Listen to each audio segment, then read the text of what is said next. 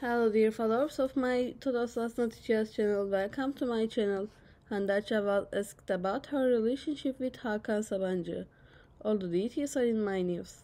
Before you get to my news, don't forget subscribe to my channel, turn on notifications and press the like button. Stay tuned to my channel. Famous actress Hande Erçel became one of the most talked about names in the magazine world recently especially the allegations about her relationship with Hakan Sabancı, one of the successful names of the business world, continue to occupy the agenda.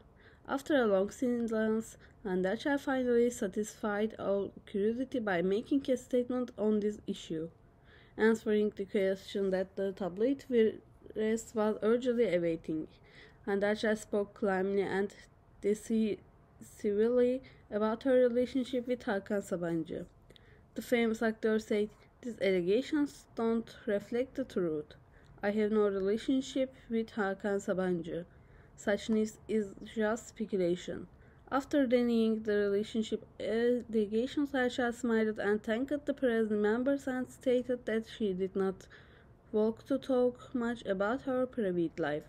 He also emphasized that he will continue to focus on his career and his commitment to his job is at the forefront. Rumors of her relationship with Hakan Sabancı have been occupying the magazine world for a while. However, Hande statement clearly demonstrated that these rumors were unfounded. The fact that the famous actor broke his silence and told the truth was awaited with great curiosity among his fans and magazine followers. I have come to the end of my news. Goodbye. Stay with us.